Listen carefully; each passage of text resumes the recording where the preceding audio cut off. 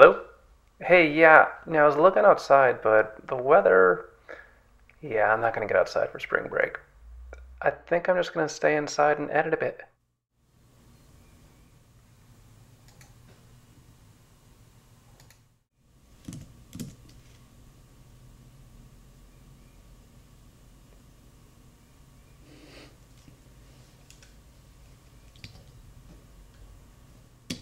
So I've been going through all of the videos that I recorded since August 2010, previewing them, and adding a description like one you see on the screen.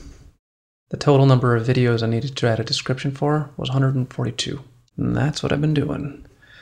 Sure, not all the videos are really fun, and yeah, it's a bit cold. But I get to have a little bit of fun. Sometimes. Especially when crypto, I mean puppies, show up. Puppies.